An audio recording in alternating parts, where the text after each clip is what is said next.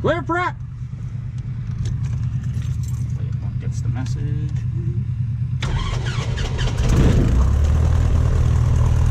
Cessna 150M. I liked my driver's ed car so much I bought it.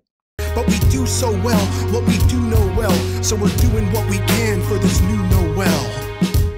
This is an airplane designed to teach the world to fly.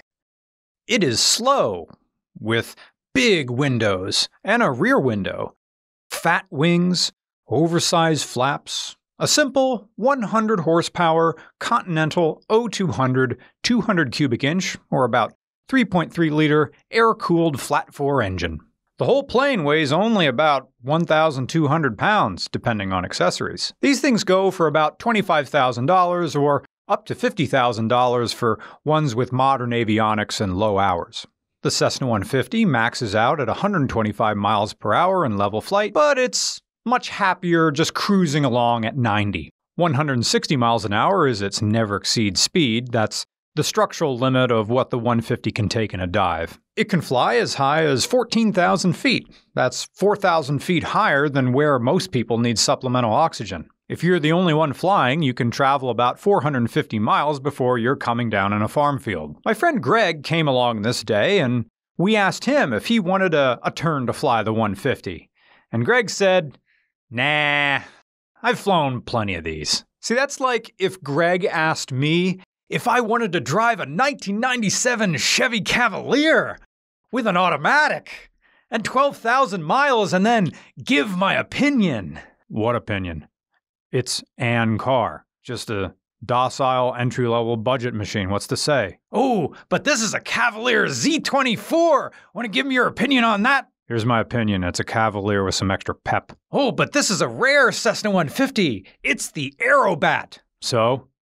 It's a 150 that can do a loop. The Aerobat variant of the 150 has the exact same O200 engine as the stock 150, but the airframe is stronger to allow basic aerobatic instruction. You know, loops, lazy eights, all of this stuff. Even comes with this little placard that just tells you how to do it. And the Aerobat comes with uh, four point harnesses and two little sunroof windows above you so you can look up at the ground when the airplane is upside down. It has these little handles that eject the doors, and the seats have removable back padding so you can fly while you're wearing a parachute. And you also get this badge on the inside that says Aerobat. And it has uh, some checkerboard graphics there reminding you to, Hey, you! Don't, watch, that, watch this! This Aerobat is also the 150M iteration. Uh, the M existed for the final three years of the 150's production. That's about 1975 and 1977. The M years got a 15% larger tail for more yaw, I guess. But the 150 does have one desirable feature, which was standard across all trim levels, and it kind of sets this uh, little trainer apart from the other trainers. And here it comes. Here comes the 150 money shot. Oh, yes. Oh, Daddy, yes. Give me your fat flaps. Give me 40 degrees. Uh, uh, drop 'em low. Fly slow. Huh? So slow. 40 degrees of flaps on a trainer is like giving a driver's ed Chevy Cavalier StopTech disc brakes, calipers, and pads. Why? Why do that? That's just overkill. 40 degrees of flaps is pushing stall territory, you know, short takeoff and landing.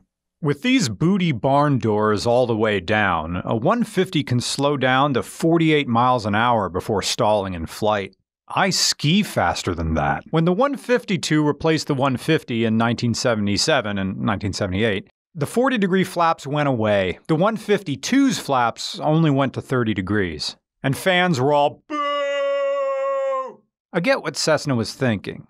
Learning to fly with monster flaps at the ready to aggressively slow the plane during landing could allow student pilots to develop bad habits. It's like if you really did have a driver's ed Cavalier with grabby rotors and pads all around and a student driver learned on that. The student would assume that all cars can stop like that, so they'd develop poor driving habits like braking late for stop signs and traffic lights. And they'd start tailgating people, and, and they'd think, why not? From, from their perspective, they can stop in two car lengths. You know, just glide slope. What's a glide slope? I know how to land.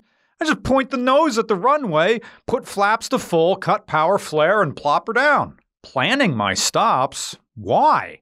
Just press the pedal all the way down and stop. Okay, nice.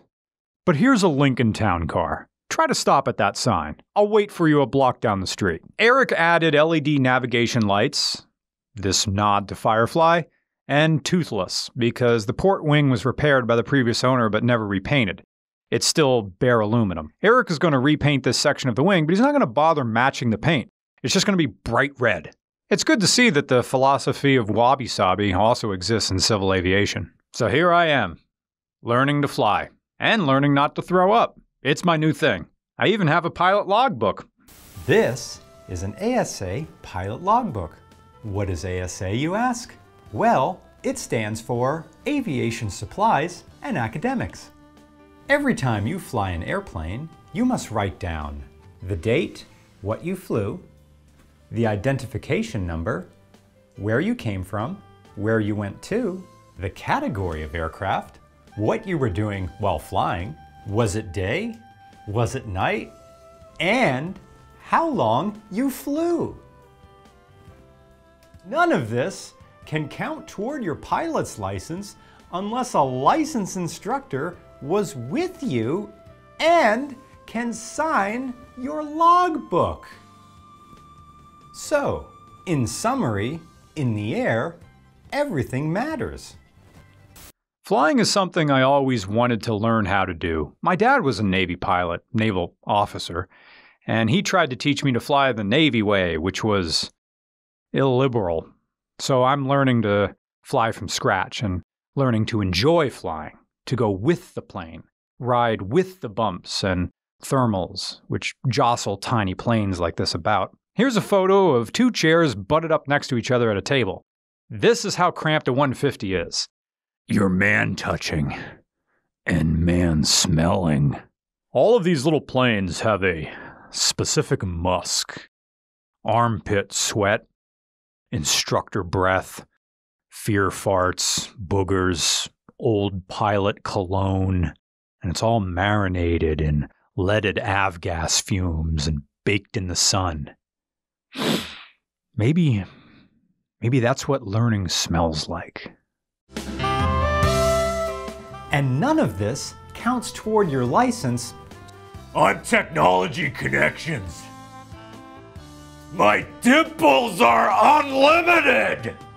in the air. Everything matters.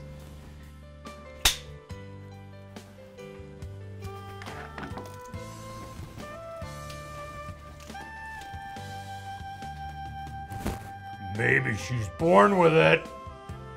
And can sign off toward your book.